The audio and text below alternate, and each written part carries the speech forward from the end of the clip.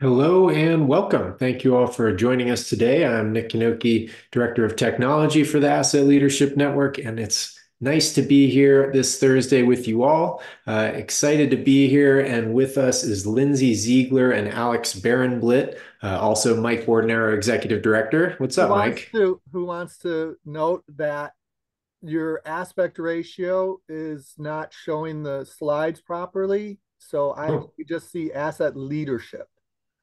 Really? And the pictures of uh, everyone just moved a little bit. So For what it's worth, I see it. oh, you see- saw it? Oh, wow. I, I see it don't also. now. Oh, I put it back. I see it now. Okay, good. Alex sees it. Great. Well, we'll just get right. We'll get. We'll continue then. Uh, ALN patron members, thank you so much to Jacobs, Mantech, Onuma, ABS Quality Evaluations, and CGI, as well as all our organizational members, especially the Andrew James Advisory Group. And we'll talk more with uh, President Lindsay Ziegler in just a moment. Uh, before we get underway, we do want to mention that if you're out there watching, please send any comments, questions, or feedback to the chat, uh, or you can use the Q&A function of this Zoom webinar. So uh, with that, Mike Bordenaro, Thank get us goodness- going. Thank goodness this is Old Home Week uh, today. Um, we're, we're very casual uh, organization. And before we get to uh, talking, um, later on, we're going to post a survey link. And it's the first time that we've done a survey. And we'd like to get a sentiment, a feeling of how asset management is impacting your organization or your region. And it's just 10 questions. You can do it in way less than 10 minutes there's opportunity to provide comments, but you don't have to. Um, and then on the 22nd of uh, October, we're having a special value and benefits from asset management presentation where the Australian results of the survey will be presented and the US results of the presentation will be, uh, survey will be presented also. It's going to be very interesting. And what I said about this being Old Home Week, I, I'm it's very good to be talking with Lindsay and one of her best students, Alex, but both myself and Nick were students also. And we all went through the training program and became ALN A55K professionally certified um, individuals. So, um, with the new ISO documents out, it's really a time to focus on those documents. We can always do asset management best practices, they're common sense, but the documents really lay things out to help guide an organization in a way that's clear and beneficial. And since Alex is with an organization that had more than 50 uh, professionals certified, uh, we wanted to start with Alex and talk about what he thought of the course. And it's been a while, so he can see what the impact of the training is on his organization, LMI. Okay, well, I'll, I'll give a summary. It you're exaggerating just a little bit. I believe it was something like 43 or 44 as opposed to over 50. Okay. Um, so just exaggerating just a little bit. Um, what's uh, uh, first I'll describe what I did and why to explore getting certified. Um, we actually got a bunch of people certified. I ex- I explored getting certified in ISO 55000 back in 2020.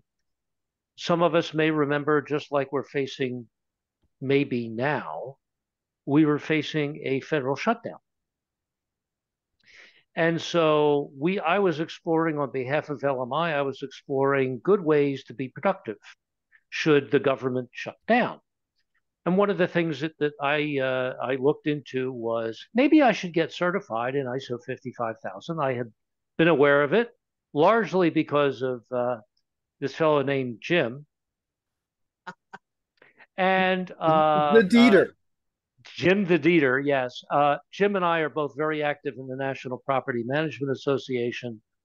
Uh, and uh, he had been talking about ISO 55000, and it occurred to me, well, maybe I should explore getting certified and using my time productively during a government shutdown.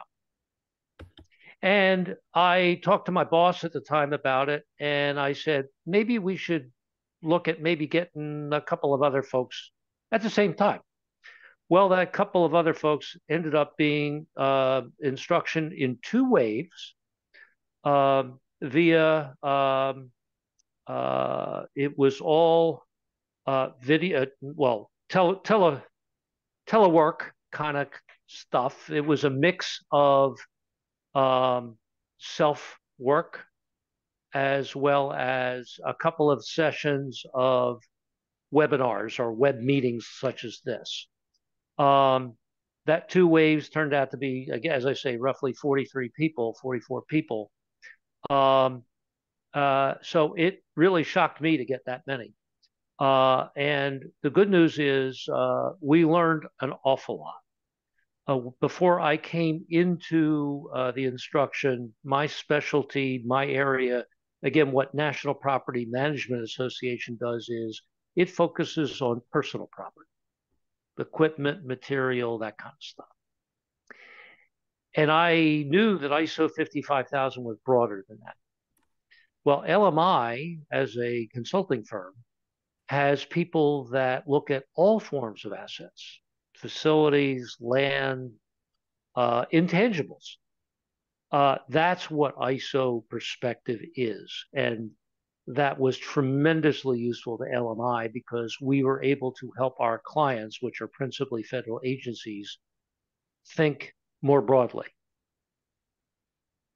Excellent. So that's my introduction. So Lindsay, how was how was his class? Were they were they bad students? What what were they like? They were great, and um, they actually I think were the inaugural students for our um, hybrid online version of the course yeah. because it was right at that we we had only taught it in person up to that point and then the pandemic hit and we all said uh, yep. oh we have to do something like right now so we uh, took the course and we converted it into this this hybrid version with some instructor led live sessions still not in person still uh, like this webinar and then a lot of self study. And now you've got um, good news about in person training. You want to share? Yes, it's it's it's available now. We we can now do in person training, and in fact, we have some scheduled about two weeks from now in New York. That'll be the first in person class since the advent of the pandemic. So that's that's uh, really exciting to uh, let people know that that can start happening. And again, it's another single organization that is training yes. their team together. And does that allow yes. you to get into details and um, specifics that are helpful for the organization? It does. When you have a mixed group, um, there, there's pros and cons. When you have a mixed group, people learn from each other and they can they can talk about well in my organization here are the issues oh well these are the issues in mine and how i dealt with that and and you might want to consider this so there's value in that but there's also a lot of value in having a, a single organization in a class because first of all the typically the people know each other um, and so they're a little more comfortable with each other in class and that could be really good in terms of conversations and and uh, going through some of the the questions that we ask and the exercises that we ask. Alex. And then then you... when it comes time to do the samp workshop at the end of the course then they can either choose to do the samp uh, based on the uh, case study that we provide which is a fictional jurisdiction called Arendelle. And I have to tell you, I came up with that name before Disney did Frozen. So I'm going after them for copyright violation. um, no, no, no, no, no, no, no. Um, so they can but, either do that or they can do one based on their own organization. So, Alex, I've got sure. a question related to this for you. Okay. Lindsay pointed out that if there are people, uh, students from other organizations, there's cross pollination and you can learn from others. LMI is a pretty good sized organization. were people learning from each other even though they are inside the same organization? Absolutely. Because while LMI is a good sized organization, we have different areas of subject matter expertise and we have different focus areas. So LMI has deep subject matter expertise, people that do this, focusing on the management of buildings, facilities. We have people that understand the management of land and and infrastructure like roads and bridges and stuff like that. I know very I know very little about that. When it but when, but they know very little about what it is to manage equipment and warehousing and that kind of stuff. So we collaborate and we learn from each other. What I what many people call silos. Lindsay knows where I'm, I think knows where I'm about to head. Uh, I learned many years ago to call them cylinders of excellence. I was going to try and, to type that in before you said it. I knew where you. Uh, okay, but the the idea is each of these areas we the, the, the LMI has and many other organizations have experts in their area, and there's so much that they can learn from the other cylinders of excellence. Uh, so when you build a SAMP, you're not building a SAMP based on one perspective. Excellent. So um, now, if we could get into some examples or anecdotes that Lindsay, you've seen your students uh, or they've related to you or Alex, what are you seeing once people go through this? And Nick, we'll get your perspective on this too. But Alex um, or Lindsay, go ahead first. Go ahead, Lindsay. What I what I typically see um, pretty much every time we give the course, um, most of the people who are taking the course really appreciate the the live lecture sections. Um, and honestly, the way I run those is I'll throw out a question and then I'll just let the group run with it. And the amount of information that people convey and people learn, and I learn, I learn every single time, um, is is just amazing. Uh, typically, when we get feedback, it's like that's the best part of the course. Yes. I'm seeing Alex agree. I vigorously agree. Alex, what have you seen the results uh, um, at LMI? I think what we've seen is we've gotten the different those cylinders of excellence, the different experts having a much broader perspective than they did before. Uh, and they bring that perspective to uh, a federal agency so that they understand um, that their world that they're that they're familiar with is only a part of what that organization needs to consider and think about. That's the most valuable thing. And when when Lindsay throws out a question, it's almost I I, have a, a mental image of that. It's almost like she tosses out a balloon that gets bounced around and you get the different ideas and what about hey i didn't know that and what about that and what that's the most valuable part of this. Uh, when i look at iso 55000 that's the perspective that typically you don't have. What jim the Deeter taught us is that if you start an asset management initiative for the first time at a large organization and you need to pull together the the bosses of all the different categories of assets they'll probably be meeting each other for the first time and i think that's really uh, intrinsic in the document about this holistic systematic thinking so it's really good to hear you say that that has happened yeah. Uh, are, are you bringing anything to? Uh, go ahead, Lindsay. I was just going to say that that what Alex just said and what you just said ties into one of the fundamental concepts of ISO 55000, which is alignment, or what what uh, the ALN has started calling line of sight.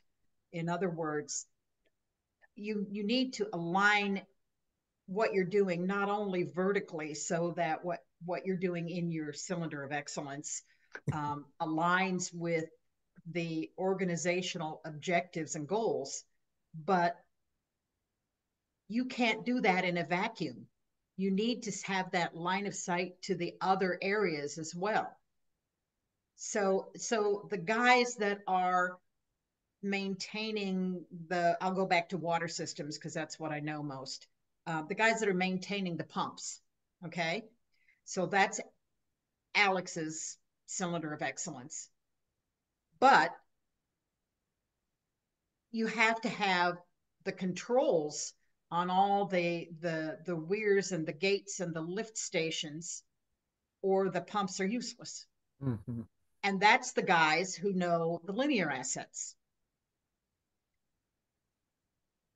So to get optimal results for your organization you really do have to figure out how to work together Mike, uh, if I may, in the I was going to you next. Perfect. In the in the words of Martin O'Malley, who spoke with us on a program maybe two or three years ago, he Former said, "You know, governor he, of Maryland." Right. Um, he said, I, I think that you know you can keep your cylinder. You know, he used silos, but cylinders of excellence, excellence, you can keep them as long as you can land the data on a map that is usable by the you know for collaboration by leaders and other silos of excellence uh, to communicate and collaborate on a regular cadence um, of accountability and transparency. He said yeah that's a paraphrase but it was an amazing statement.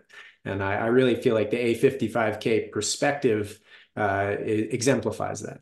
What i was going to ask you nick is you are uh, represent the young and uh, people who are new to asset management.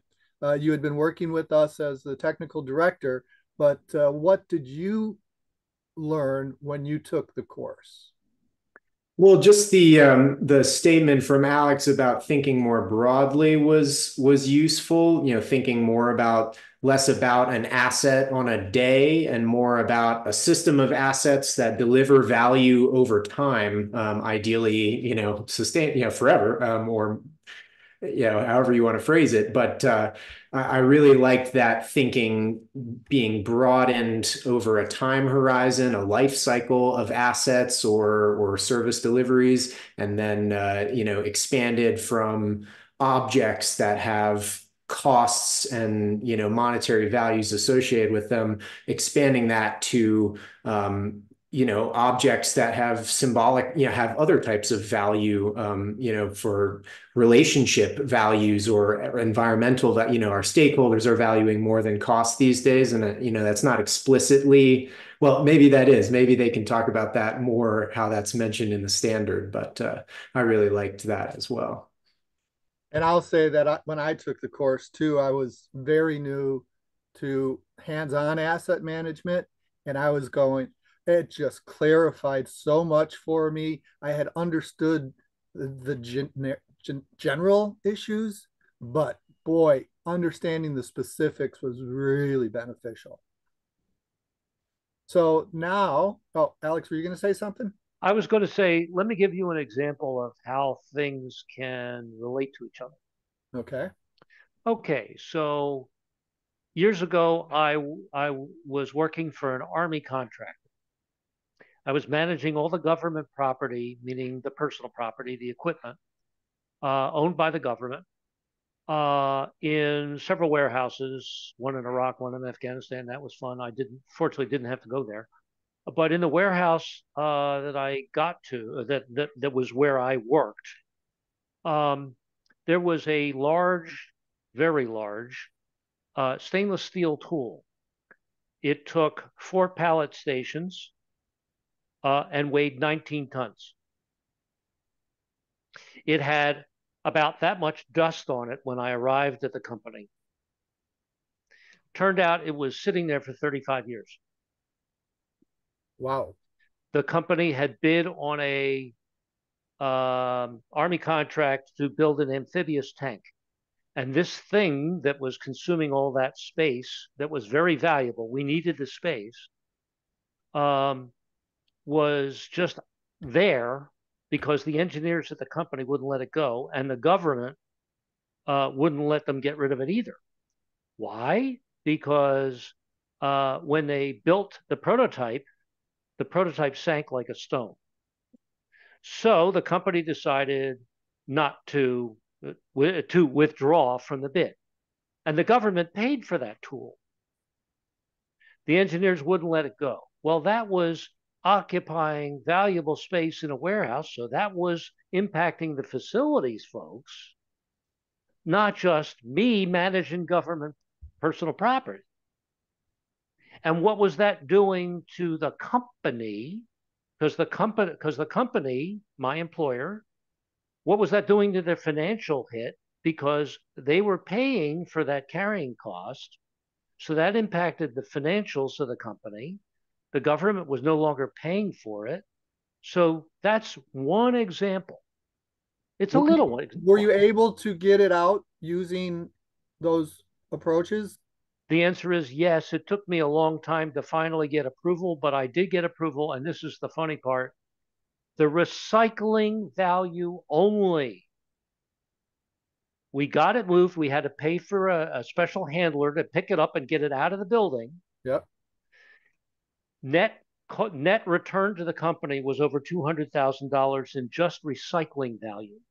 Excellent. Uh, we need to make that a case study, but it addresses it addresses a comment that Jack Kelly made in the comment section I saw it. that there are challenges to the common sense approaches that asset management brings, but actually, if you use ISO 55000 and your Yeah. your expert education in it that Andrew James Advisory Group leads you to, you Yep. can use asset management to overcome these challenges. And that's a perfect example of how that happened. Indeed.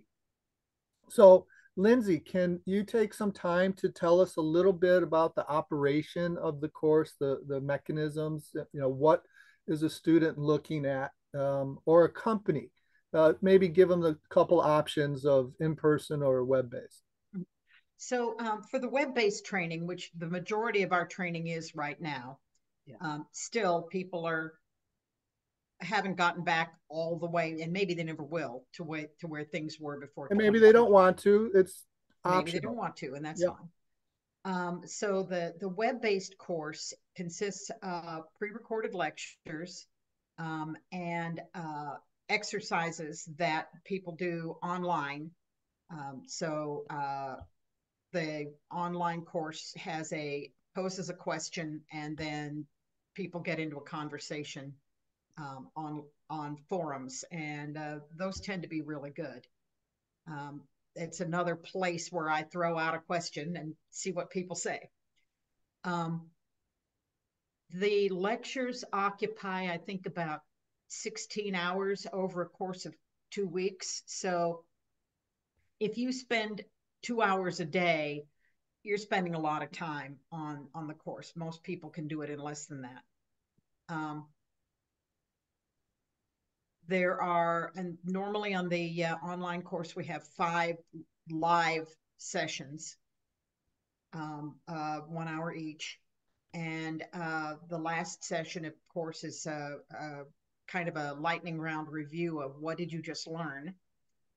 Um, because it's important if people want to want to sit the exam to have a review at the end. Um, and then the exam so we use a learning management system called Moodle. And uh, I liked it so much that I recommended it to the ALN, and ALN uses Moodle for the exam. And then they have a uh, yep. a proctoring System. thing called uh, Proctorio, um, so that there's no question that people are, you know, popping back and forth between the actual materials and the exam. They're they're actually taking the exam. but we still have a 98% pass rate, which is pretty darn good. Um, I'm happy with that. Mm-hmm. Um, so that's basically the online course, and we provide people with a a uh, watermarked copy of a watermarked PDF copy of the slides uh, that they can keep, um, so that they have all the training materials uh, that we use during the course. I still refer to them. They're I think they're helpful. I really do. They are. They are. Um, and we allow people to have access to the course for a minimum of six months.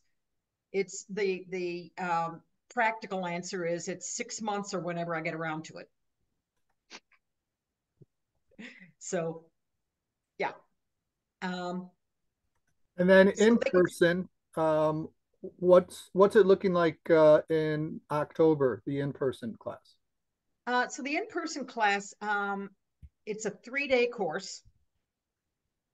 Um, this particular uh, client um, is a government entity and they are not allowed to pay for certification exams. So the exams will take place offline um, for anyone who decides that they want to pay for them. Um, but we cover essentially the same material over the course of the three days. Yeah. Um, and we have again a SAMP workshop, a strategic asset management plan workshop towards the end of that third day. Um, and we, we're actually remodeling that a little because the 2024 release of 55,001, um, the previous release kind of said, well, you know, you should have stuff in your SAMP. This one is very specific. You need these things. And so we want to cover you need these things as it says in the new standard. That's pretty that much a lot. That's pretty much aligned with what you were teaching anyway, right? Oh yeah, oh yeah. Yeah. It's not it's not really much different from what we were teaching. Um, but it's explicit now. Now it's got um, so if you're not familiar with the standard, uh, 55,001 is littered with what we call shall statements, and those are requirements saying the organization shall do something. And for the SAMP, now there's a whole lot of the SAMP shall contain X, Y, and Z. And so we are modifying the uh, in-person course to take care of that, and we'll also be modifying the online course. We're looking at um, being able to include all of the 2024 changes um, in early 2025. Excellent. And for anyone who has taken the course before that and has certified to A55K, we're planning a uh, essentially a either low cost webinar to bring people up to date on what's what the differences are between the 2014 and the 2024. 10 years is a long time. Yes. A lot has happened in the world in 10 years. Yes. So we're at the end of the program. Alex, do you want to uh, make any concluding comments? The only concluding comment I really have is um, we found the training very effective, very useful. Uh, if for many reasons, but not the least of which is, uh, as we've kind of said before, we understand each other better. And that's an important consideration when you do what we do, which is uh, LMI, LMI is in the business of helping the government do do its work better. That's essentially the bottom line of what LMI does. It's not by any means limited to uh, asset management. Uh, LMI does a lot of consulting in a lot of different areas, but with respect to um, helping the federal government operate better, that's what LMI does. And the the uh, the courses, uh, particularly with Lindsay uh, instructing, but with with the the uh, Asset Leadership Network uh, support and Andrew James, that training gave us the necessary uh, understanding more than anything else. And this is coming from a- a gentleman who does training for NPMA. So he knows training. So thank you very much, Alan. You're welcome. I Nick, would- appreciate those kind words. Nick. Yes, I do have a, I do have a last thing to say. Um, we are currently enrolling for a course that begins November fourth and a course that begins January thirteenth. Right. Um, enrollment for the November course will close soon. So if you're interested or if your training budget for this year has a few bucks left over, um, you might want to go ahead and enroll. I've put the links in the uh, chat, and I believe the links are also on the ALN uh, training page. Yes, and we're going to post um, a PowerPoint presentation with uh, lists of the values and what people will be getting out of that, so people can use that to help uh, explain value to uh, senior uh, leadership. Yeah. Nick, you want to make a uh, closing statement and bring us home? Yeah, I would just say uh, to any leaders out there watching, the ALN has, you know, feel like we've established it takes leaders to set the culture of asset management in an organization that's really required to get the most value out of um, this sort of thinking. And uh, I would just say that nothing helps uh, instill that culture more than having your people trained up uh, through the A55K training. And uh, and then I'll say thank you to our patron members for making this program and others possible. Uh, Jacobs, Mantech, Onuma, ABS Quality Evaluations, and CGI. And also all our organizational members, especially the Andrew James Advisory Group for working with us on sharing the good word. Uh, but again, thanks to all our organizational members and uh, please reach out if you'd like to work with us. We really, we like partnering with other organizations here at the ALN. Thank you to the audience and uh, thank you to all of our guests. And we'll see Thank you. you. next Thank you.